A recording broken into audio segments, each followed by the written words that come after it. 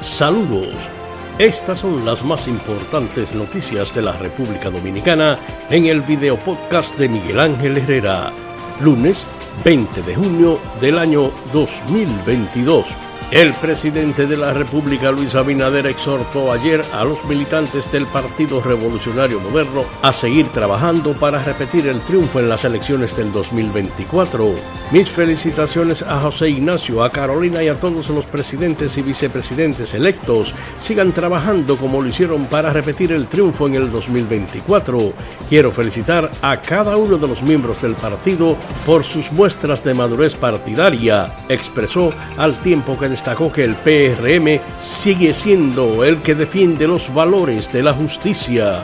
Mediante notificación dirigida a Milagros Ortiz Bosch en su calidad de directora de Ética e Integridad Gubernamental, la empresa eléctrica El Progreso del Limón realiza una denuncia por corrupción administrativa, conflicto de intereses y falta a la ética y transparencia gubernamental, superintendente de electricidad, solicitando una investigación a los fines de verificar y comprobar los argumentos y hechos denunciados transgresora de derechos y contraria a todos los principios de la buena actuación administrativa, perjudicial, por demás, a la línea del gobierno del presidente Luis Abinader Corona. El expresidente de la República Dominicana, Danilo Medina, sugirió al gobierno actual implementar políticas de apoyo al sector agropecuario Así es como se reduce el hambre, así y no de otra forma, se pone comida en la mesa de la gente, manifestó el exmandatario, refiriéndose a las medidas como acceso al crédito y a la asistencia técnica que ofreció durante sus ocho años de gobierno.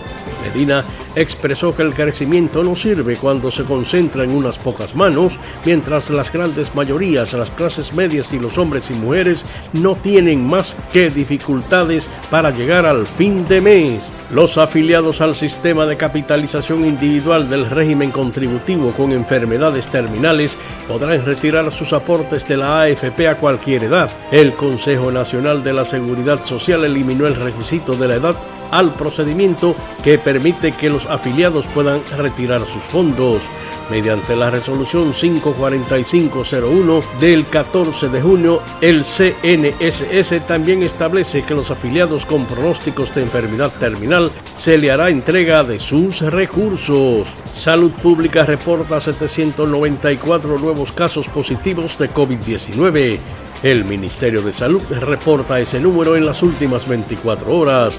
En estas horas se procesaron 6.360 pruebas de reacción en cadena y 1.659 de antígenos. Las autoridades sanitarias informaron que permanecen activos 3.611 casos, mientras la positividad diaria se coloca en 16.56. Estas y otras informaciones en el portal en exclusiva blogspot.com, en las plataformas del Vocero de Puerto Rico, iVoox, YouTube, Twitter y Spotify, masmerengue.com, clásicosdeldomingo.com, eugeniomieses.com, en Radio Merensalsa RD, saboramerengue.com, Radio Milnet, Girón FMnet, Rica Radio, Radio Latina, Bronx Radio, La Bella Radio en la ciudad de Nueva York, Mega 94.5 en Providence, Rhode Island.